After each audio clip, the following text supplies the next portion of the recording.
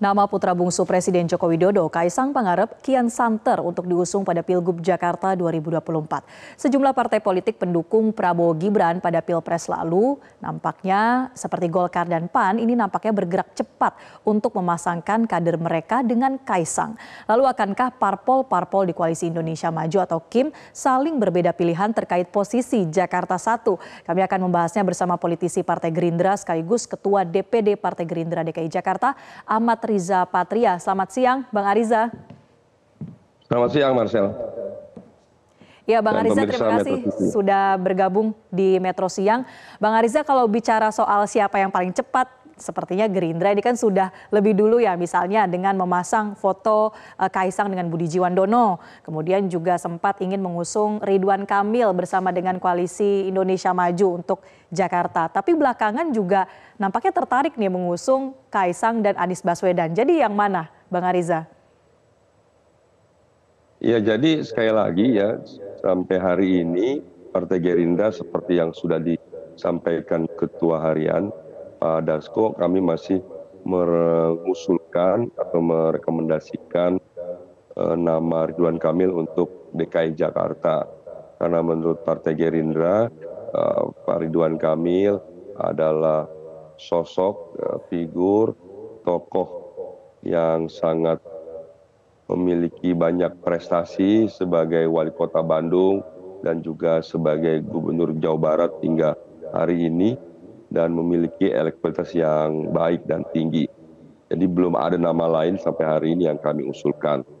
Memang hmm. sebelumnya sempat dicoba memasangkan uh, Pak Budi Jiwandono, kemudian juga lain-lain Rapi Ahmad, tapi yang resmi yang disampaikan oleh Pak dasko adalah eh, kang emil atau bapak ridwan kamil ya belum ada nama lain hmm. karena juga kami tahu eh, sebelumnya partai golkar telah memberikan surat tugas kepada Ridwan Kamil untuk Provinsi Jawa Barat dan Provinsi DKI Jakarta.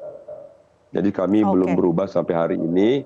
Mudah-mudahan nanti sampai pada waktunya sampai dengan Agustus eh, kita tetap pada Ridwan Kamil ya sekalipun itu memang menjadi hak daripada Ridwan Kamil dan Partai Golkar untuk mengusulkan siapa nanti dari kader Golkar dari Gerindra sampai hari ini masih tetap Ridwan Kamil. Hmm, oke. Nah, uh, menariknya Bang Ariza, kita kan tahu ya minggu lalu ini dari Partai Golkar bahkan sudah uh, menyandingkan bersama ada Kaisang Pangarep dan juga Yusuf Hamka atau bahkan sudah ada namanya nih Ka'bah. Lalu bagaimana dengan Partai Gerindra ketika melihat uh, Kaisang ini sudah mulai dipasangkan dengan kader-kader parpol Kim lain, misalnya Golkar tadi, kemudian PAN dengan Zita Anjani, Partai Gerindra akan tetap firm dengan uh, rekomendasi yang sekarang untuk RK? Ya jadi itu hak ya dari masing masing partai di koalisi indonesia maju umpamanya eh, pak zul mengusulkan eh, Jita Anjani sebagai calon wakil gubernur dengan Mas Kaisang sebagai calon gubernur. Kemudian juga umpamanya eh, kemarin ya baru-baru ini kita melihat di media bahwa Pak Erlangga menyampaikan ya kalau Kaisang ingin maju di Jakarta golkar menyiapkan yusuf hamka sebagai wakil di dki jakarta ya. Sekalipun itu mungkin belum menjadi uh, usulan resmi dari partai golkar tentu kami menghormati masing masing partai yang ada dalam koalisi maupun non koalisi Indonesia Maju untuk mengusulkan merekomendasikan siapa pun uh, calon dari kadernya atau dari partai lain untuk disampaikan nanti dalam pembahasan bersama antara pimpinan partai. Jadi saya kira itu sah-sah saja. Kami tidak ingin mencampuri apalagi mengintervensi, menghalangi itu hak semua partai mengusulkan kader-kader terbaiknya untuk tampil dalam uh, Pilgub DKI Jakarta. Untuk DKI sampai hari ini seperti sampaikan Pak Dasko masih tetap uh, Ridwan Kamil. Kita tunggu nanti pada waktunya. Artinya Bang Ariza uh, ini sudah mulai ada uh, perbedaan begitu ya di antara parpol-parpol Kim dalam uh, mengusung nama untuk di Pilgub Jakarta. Jadi nanti akan berbeda, akan pecah atau pisah jalan kah Kim untuk Pilkada Jakarta? Menurut saya tidak ya. Jakarta termasuk provinsi yang menjadi penting ya, untuk didiskusikan, dibahas, diperhatikan secara bersama. Nanti pada waktunya saya pribadi ya, ini saya pribadi meyakini nanti akan ada kesepakatan bersama. Sampai hari ini uh, masih bebas ya, semua partai mengusulkan, merekomendasikan uh, siapa pun ya dari kader-kader terbaiknya. Saya kira itu sesuatu yang baik lah. Semua partai silakan mengusulkan uh, nama-nama lain dari masing-masing parpol itu hak. Saya kira itu sesuatu yang baik. Nanti pada waktunya kan kita justru akan mendiskusikan pembahasan semakin banyak nama semakin baik ya semakin banyak kader yang siap ya. E, nanti justru dengan demikian kita punya banyak pilihan yang pada akhirnya tentu nanti akan didiskusikan dibahas dan diputuskan hanya satu pasang calon insya Allah.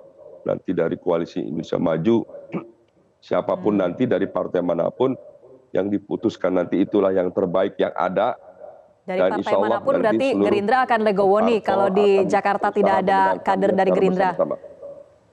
Gerindra akan legowo, Bang Ariza, kalau tidak ada kader di kader Gerindra di Pilgub Jakarta.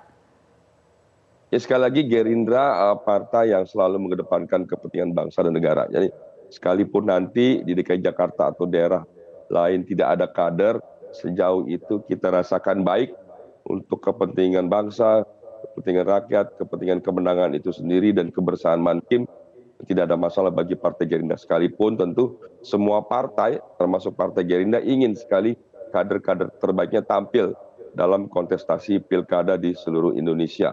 Apakah sebagai calon gubernur, wakil gubernur, bupati, wakil bupati maupun wali kota ataupun wakil wali kota.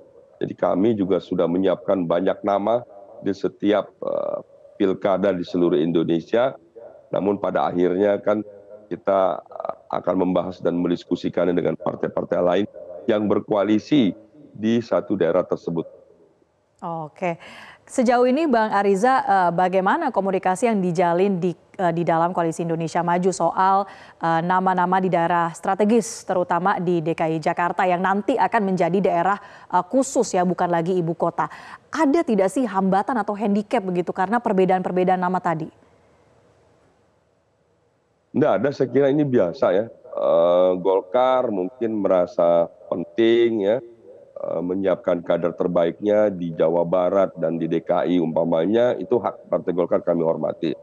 Partai PAN juga merasa siap dengan kader terbaiknya untuk juga disampaikan uh, ke publik dan ke partai politik di koalisi. Saya kira itu baik. Begitu juga Partai Gerindra dan partai-partai lainnya. Jadi kami hormati itu menjadi hak partai masing-masing. Kami tidak melarang, mencampuri, mengintervensi. Pada akhirnya nanti uh, publik akan melihat siapa yang terbaik dari calon yang ada. Begitu juga eh, partai-partai yang ada dalam koalisi Indonesia Maju. Pada akhirnya harus memutuskan satu pasangan, yaitu calon gubernur maupun wakil gubernur DKI Jakarta. Insya Allah nanti siapa pun yang diusung itulah yang terbaik. Jadi sekali lagi kami hormati usulan pilihan dari semua partai yang ada yang dalam koalisi Indonesia Maju maupun dalam uh, non koalisi Indonesia Maju yang diusulkan. Jadi tidak mesti dalam koalisi maju biasa saja partai-partai yang tidak tergabung dalam Kim juga bergabung bersama Kim untuk mengusung satu pasangan calon yang sama. Baik. Kita masih akan menunggu ya Bang Ariza artinya sampai dengan uh, bulan Agustus nanti kira-kira faktor-faktor apa saja yang akan uh, menentukan Koalisi Indonesia Maju ini akan tetap sejalan, akan tetap sepakat di Pilkada Jakarta atau tidak nanti. Tapi terima kasih atas keterangannya sementara ini Bang Ahmad Riza Patria, Ketua DPD Partai Gerindra DKI Jakarta telah bergabung bersama kami di Metro Siang. Jelajahi cara baru mendapatkan informasi. Download Metro TV Extend sekarang.